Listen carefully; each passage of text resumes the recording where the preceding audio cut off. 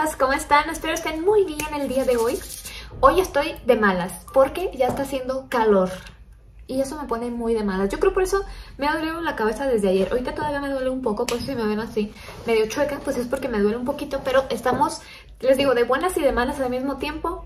¿Tiene sentido? No, pero así funciono yo. Ya saben que yo tengo una vida rara. Pero bueno, el día de hoy les traigo un misterio misterioso, una especie de olor oloroso misterio que nunca se pudo resolver. Ya saben que a mí estos casos me encantan. ¿Y quién soy yo si no la responsable de traerles casos raros a ustedes? Así que hoy les traigo el misterioso caso de un payaso. Ajá. O sea, ustedes dirán, ¿cuál? Ahorita les voy a contar todo. Así que pues tráiganse algo rico de comer, acérquense o si me quedan de fondo porque yo sé que muchos me escuchan mientras están haciendo tareas y demás.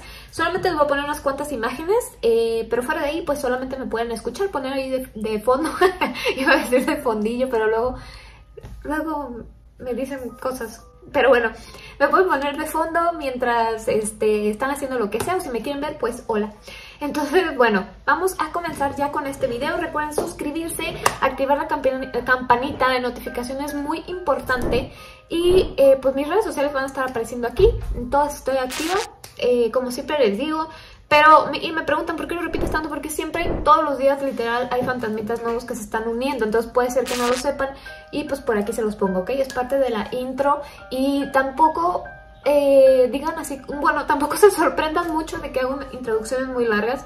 Yo solamente tengo estos dos minutos para hablar con ustedes, contarles algo rapidito y después empezamos con el tema y ya se acabó. Entonces, bueno, si me quieren seguir en Instagram, ahí es como más de historia, de así como más personal. Entonces, bueno, ahí se los dejo. Ahora sí, vamos a comenzar con este videín. Adelante. Ok, miren, allá por los años les voy a decir. 1973, o sea, ya tiene ratillo. Fue en mayo de 1993.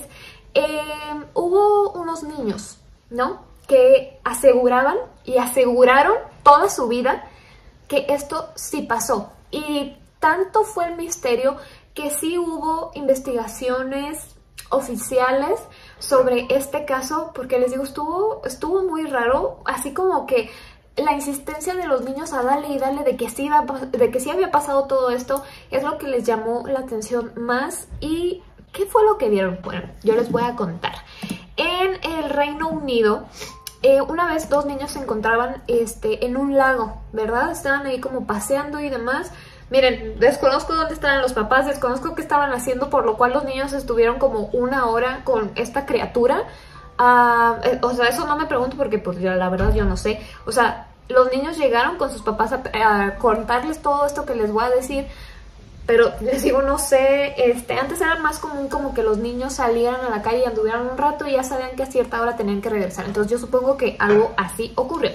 Pero les digo, estaban en un, eh, en un lago que le llaman Lake Common, así tal cual, en una isla de Witt. No sé si lo estoy pronunciando bien, pero bueno, es en Reino Unido y como les dije fue en mayo de 1973.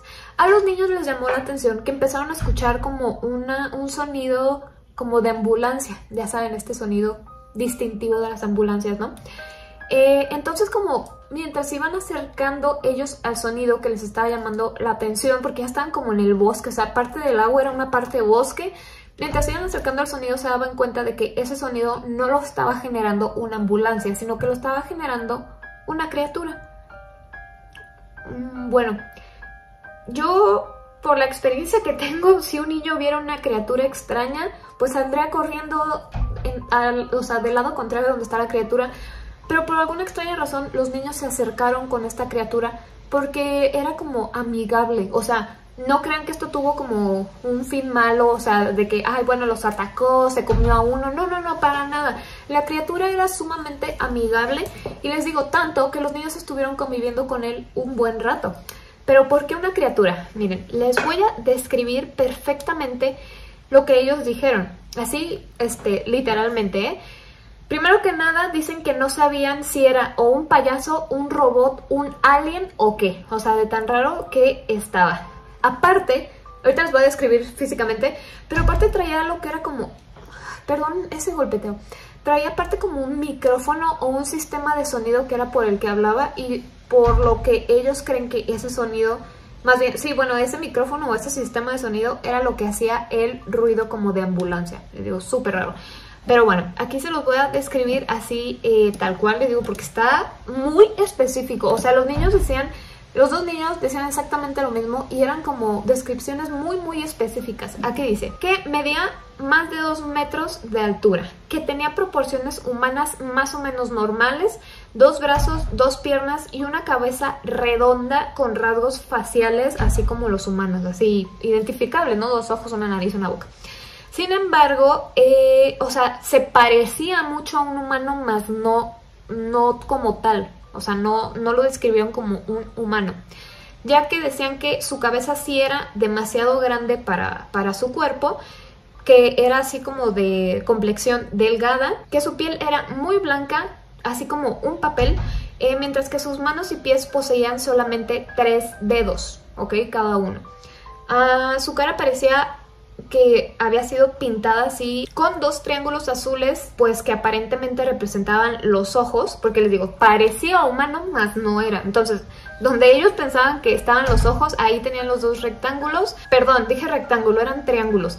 Y después un rectángulo marrón que servía como una nariz y su boca era como de rombo. Su cabello colgaba debajo de su sombrero, eh, así como muy poquito cabello, y que su su cabello era color marrón rojizo.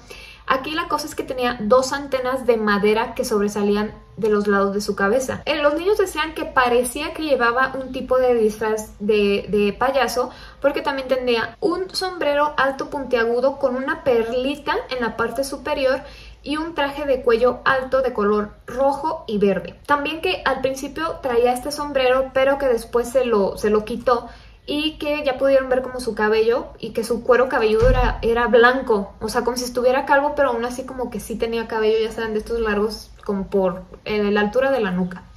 Llevaba guantes de color azul oscuro, pero sus pies estaban eh, desnudos, o sea, no traía zapatos. Los pantalones y las mangas del traje eran largos y con volantes, o sea, así ya saben, como voladito de aquí, así como tal cual el disfraz típico de payaso. No saben si las antenas de madera eran parte del disfraz o parte del cuerpo de, esta criatura. Les digo que llevaba también este micrófono, por ahí hablaba y por ahí también creen que hacía estos sonidos de, ambulancia. Esta, esta criatura también los llevó a su casa, ¿ok? Entonces los niños dicen que vivía en una cabaña de dos pisos cerca del lago, o sea, en medio del bosque, pero cerca del lago. Las paredes eran plateadas con patrones de esferas azul y verdes y los pisos también eran metálicos. La cabaña también tenía muebles de madera que no era así tal cual, pero que parecían una mesa y sillas. Total, como les dije al principio, no, no los atacó. De hecho, los niños decían que esta criatura era entre tímida y muy amigable, porque le preguntaron los niños así de que, este, ¿tú qué eres? Y que él así de que, mm, soy como algo raro, o sea, nunca les dijo qué, qué era. Pero sí les dijo, eh, pues que si, o sea, que él era tímido y que si alguien lo llegara a atacar, él ni siquiera se iba a defender. Entonces, o sea, pues sí, estaba, estaba raro. Los niños nunca se sintieron en peligro, les digo, estuvieron ahí con él conviviendo un buen rato, hasta que después, les digo, como de una hora, ya fue como de que, bueno, pues ya es hora de irnos y vámonos. Entonces llegan con sus papás contándoles esto de que es que fui así, así, y vimos y hablamos y nos dijo y bla, bla, bla. Eh, y los papás así de que, sí, mijito, o sea, claro, eh, sí, sí, sí te creo. O sea, pues no les creyeron obviamente al principio. Pasó el tiempo y los niños seguían hablando y hablando y hablando de lo mismo. No cambiaban la historia, eh, era, les digo, los detalles tan específicos que los papás ahí sí empezaron como a creerles un poco de que sí habían estado pues en contacto con, con algo, ¿no? Y es aquí cuando este, ahora sí dan aviso a las autoridades y eh, pues fueron a investigar, no encontraron ni la casa, ni a la criatura, ni nada. Pero aquí lo curioso fue que se metió la asociación que estudia pues los ovnis, ¿no? Eh, se metió y dijo que, o sea, la, es que yo, yo siempre les he dicho, yo siento que los gobiernos saben más de lo que nos dicen, ¿no? Yo creo que es un hecho bueno, en mi opinión. Entonces les digo, se metió esta asociación como investigar un poco y sí dijeron de que no, pues es que cerca de esos días que pasó esto no hubo avistamientos de alguna nave o cosas así, entonces pues quién sabe qué habrá sido. Por eso no saben dónde catalogarlos, si como ovnis, si como fantasmas, si como alguna criatura del bosque, si una persona disfrazada nada más, actuando extraño. Lo curioso fue, les digo, que a los niños pues, no les pasó nada. O sea, ellos estaban como de que no, qué padre.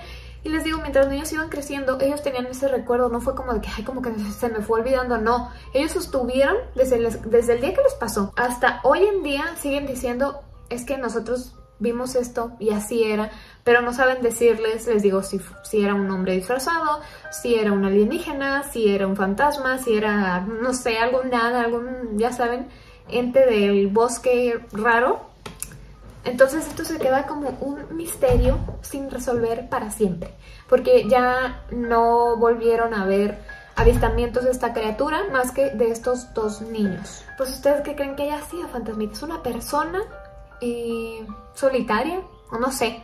O sea, si los pisos de su casa eran como de metal, a lo mejor esa era su nave, ¿no? Nomás cambiándola. Ay, no sé. Pero bueno, me gustaría que me dijeran en los comentarios ustedes qué opinan sobre esto.